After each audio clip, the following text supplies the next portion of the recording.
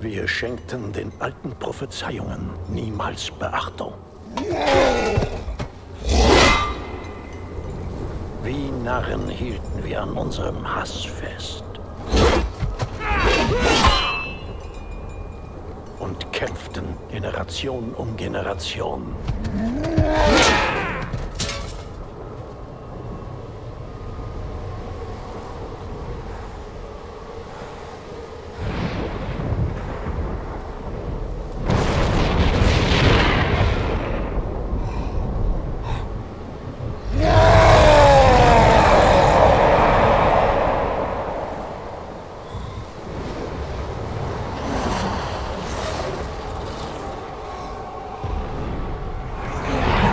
Zu dem Tag, da es Feuer regnete und ein neuer Feind über uns kam.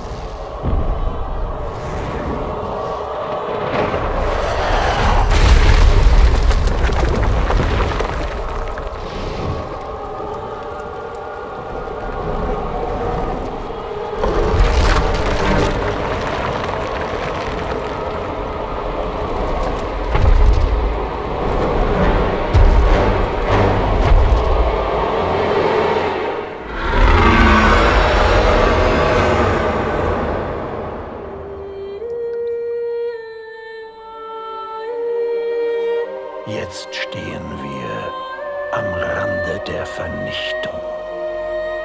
Denn die Herrschaft des Chaos hat begonnen.